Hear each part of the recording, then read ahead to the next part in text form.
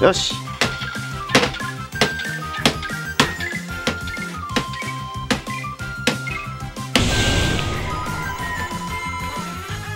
やったー！クッパを倒したよ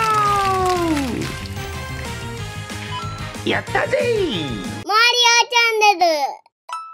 はいということで MJ マリオチャンネルの MJ です。本日紹介するのはこちら！ヒュー本日紹介するのはこちら。レゴスーパーマリオ決戦クッパ城チャレンジ。やっていきたいと。思います。マリオチャンネル、マリオチャンネル、マリオチャンネル。はいということで今回やるのはこちらなんですが前回やった決戦砦チャレンジのコースがこの箱だったんですがかなり大きい箱になっております。ではちょっと長さを測っていきたいと思いますよ。横幅が4 8センチ。でかっえー縦が3 8センチあります。この巨大な箱から今回は何が出てくるのでしょうか？では開けていきたいと思います。マリちゃん。おっしゃ。では中を開けていきたいと思います。よいしょ。よよさあ大量の袋が出てきました。何個袋があったか数えていきたいと思います。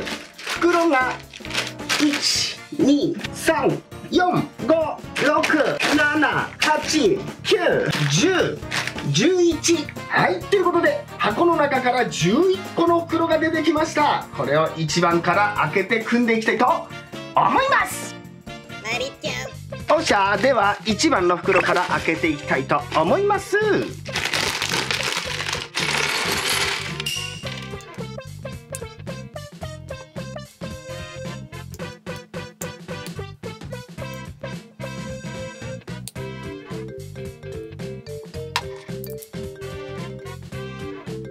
はいということで1番の袋から出てきたのはカロンでした。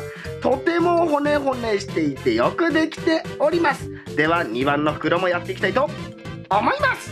マリオチャンネル、マリオチャンネル、マリオチャンネル。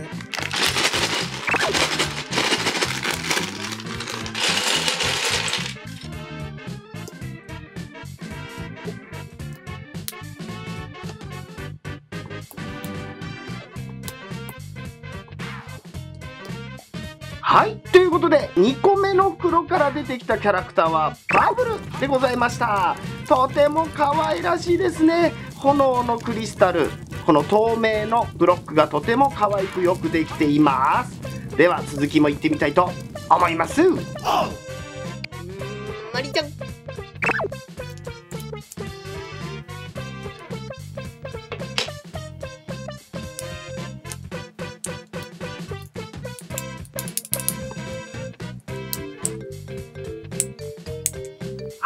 いということでバブルとギミックができましたのでちょっとやってみたいと思います。ここをマリオで踏むとですねバブルが飛ぶ。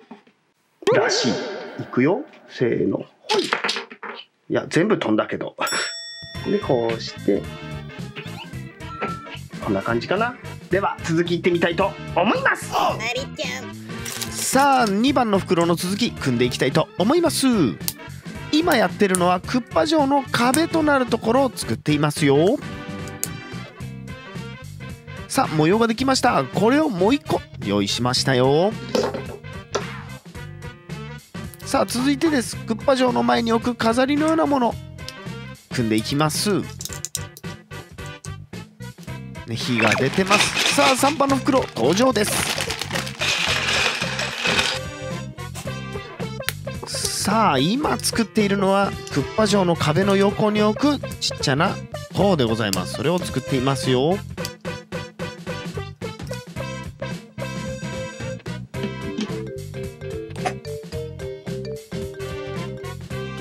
こんな感じ。これをもう一個用意しました。同じものは割愛しています。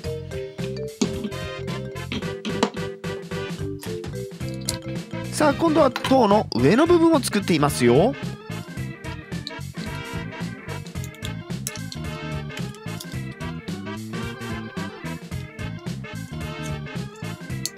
こんな感じ。これをもう一個同じものは割愛しています。さあ4番の袋登場です。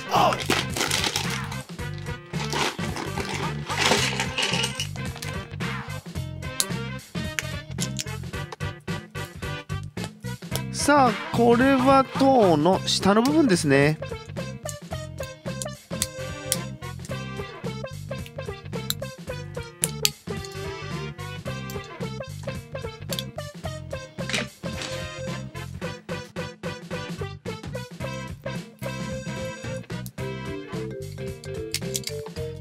さあこれを入れて揺らすことができると。カロンをね乗せることができます。カロン乗せてバランスゲームをするやつですね。そういうギミックです。さあ5番の黒登場です。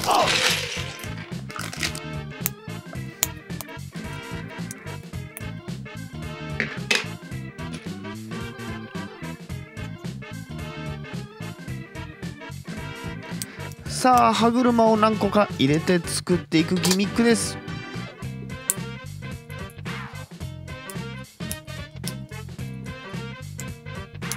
細かいパーツを組んでいきます。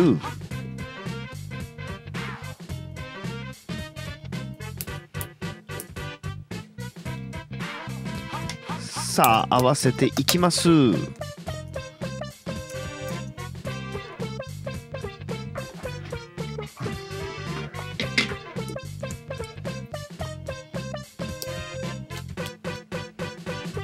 うんくるくる回ります。さあ歯車合わせていきますよ。さあこの歯車を回すとお回ります。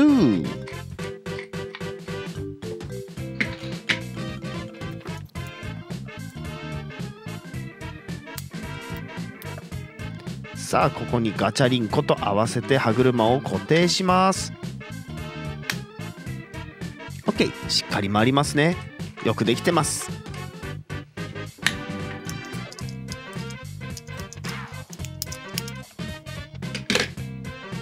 さあ細かいパーツも組んでいきますよ。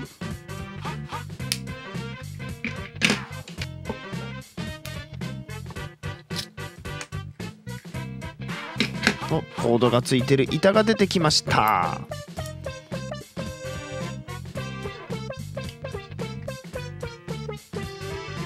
おくるくる回ります。下の歯車も一緒に回りますね。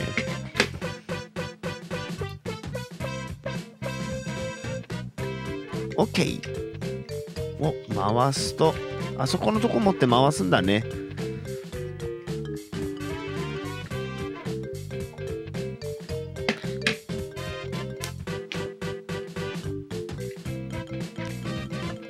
さあ続いて作っているのが次に作るキャラクターを載せる台となっています。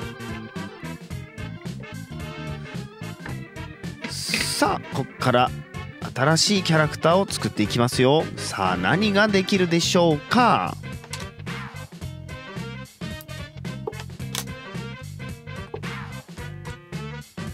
お見たことある口。顔も出てきました。はいということで出来上がったのはテレサでした。では次も行ってみたいと思います。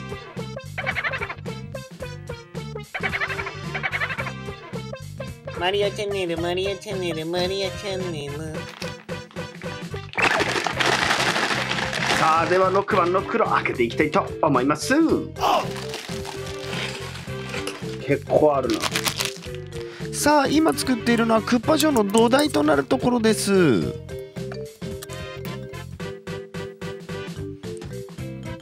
かなりパーツ数が多いです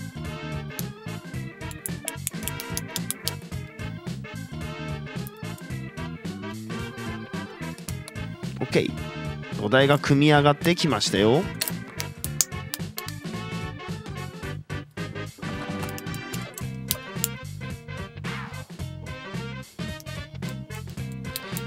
さあ細かいパーツを合わせて一つにしていきます。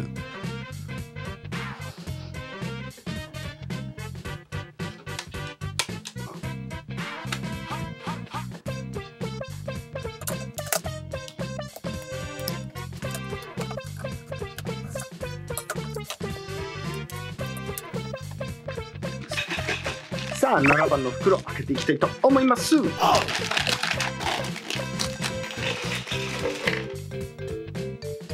さあクッパ城の続き7番の袋からもしていきます。大きな部品が出てきました。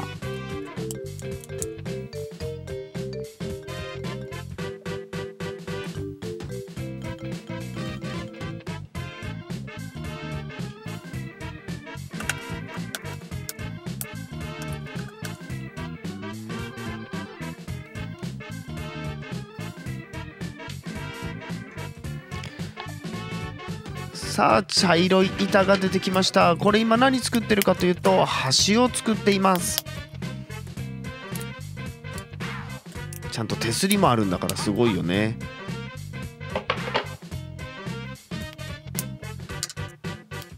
はいここに細かい部品もガチャリンコとくっつけていきます。ここにクッパを乗せていくギミックも作っていきますのでとても重要な部品となっています。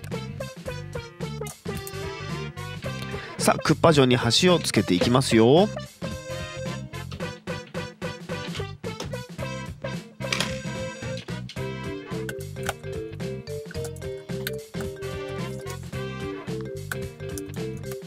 さあ橋のギミックです。ここが大事ですね。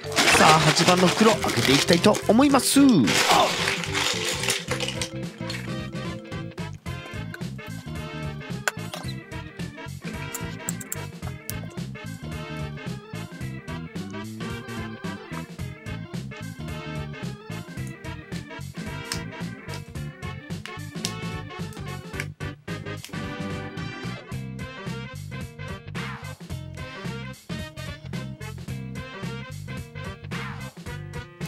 さあ何かできました。これをですねはめていきます。はい固定もします。はいここで出てくるのがタイムブロックです。これをここにはめていきます。で同じのをもう1個反対側にも作ります。ただこっちはハテナブロックをつけていきますよ。さあ続いては何を作っているかと言いますとはい可愛らしい部品を5個作ります。これをねはめていくんですね。これが一番のギミックですかね。とてもよくできてるギミックだなと思いました。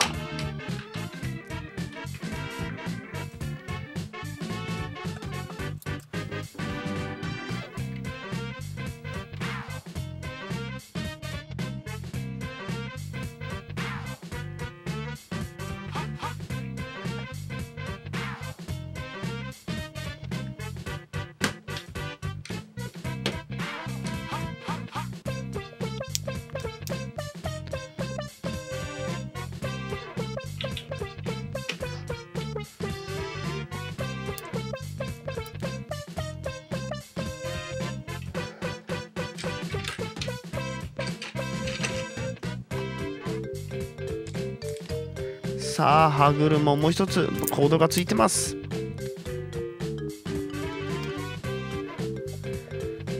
さあこれをですねこうはめてマリオあそこ乗せて動かすと動くと。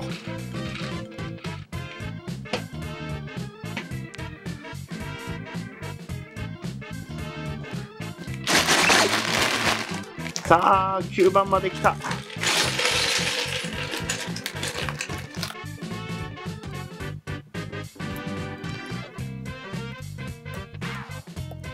さあ今これ何作ってるかというとクッパ城のクッパの腕でございます。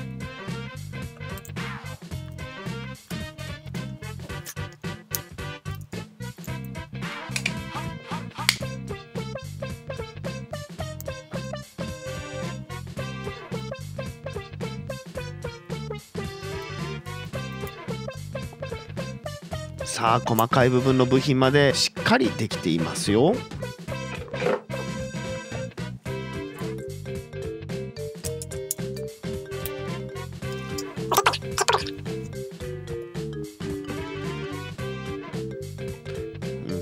かりね親指まであるからね。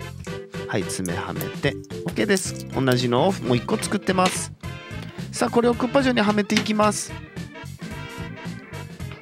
さあクッパ城の一番のギミックですね。後ろにあるここ。ここにこの黄色をはめます。これが動くことによってクッパ城の端が上下に動きます。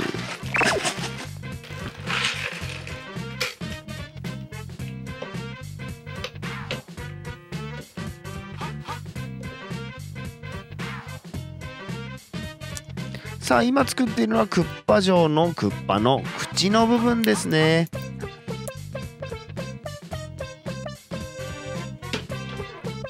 さあ続いては顔の部分を作っていきます。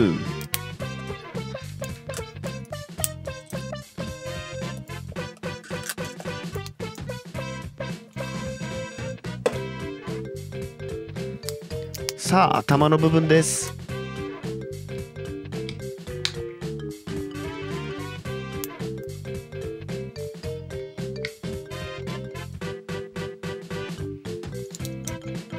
さあここに合わせてガチャリンコとしていきます。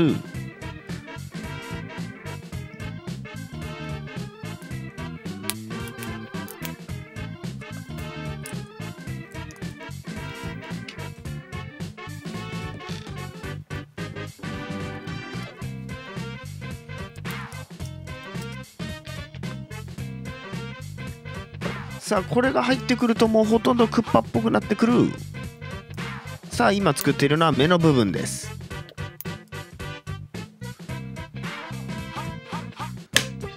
うん。で最後に角です。角はですね横に向いてる角と上に向いてる角計4本作りました。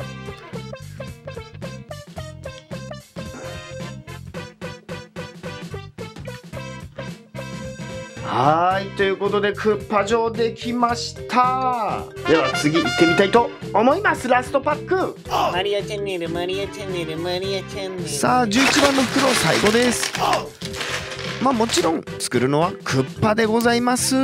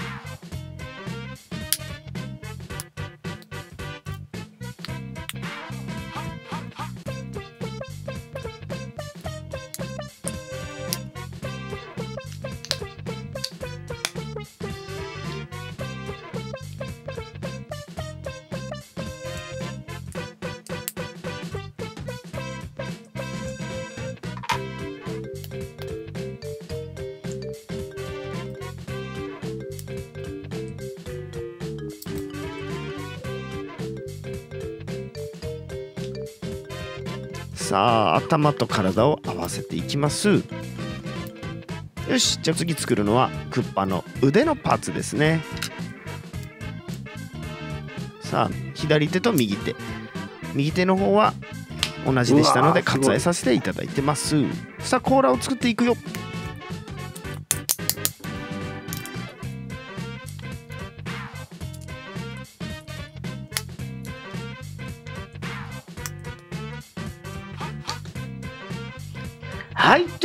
クッパができました。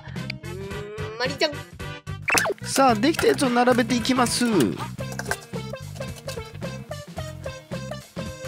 はいということで全てのパーツを置いてみました。このような感じで遊んでいきたいと思います。マリちゃん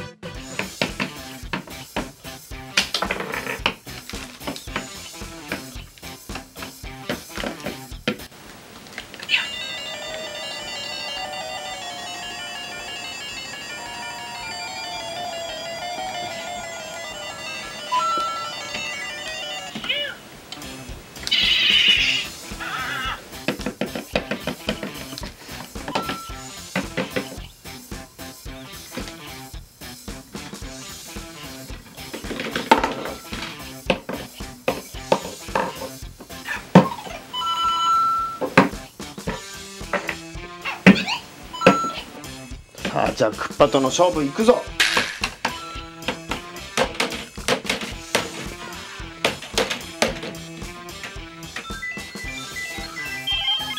おスターだ。さあじゃあクッパとの勝負。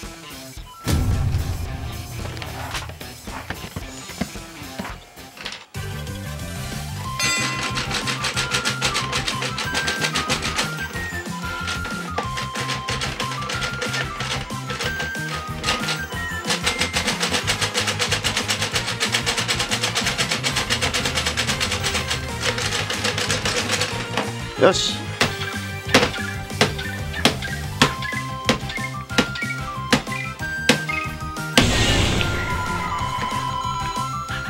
やったー！クッパを倒したよやったぜマリオチャンネル、マリオチャンネル、マリオチャンネル。はいということで本日はレゴスーパーマリオ決戦クッパ城チャレンジ紹介してみました。なかなか組み立てるのに時間がかかりました。対象年齢が8歳なだけあって組み立てにかかった時間は約3時間半となりました。とてもボリュームのある楽しい作品となっております。一人でやるんじゃなくてみんなで組み立てたらとても楽しいと思いますよ。ぜひ皆様も買ってみてください。以上 MJ マリオチャンネルの MJ でした。チャンネル登録とグッドボタンよろしくお願いします。バイバーイ！ヤッホー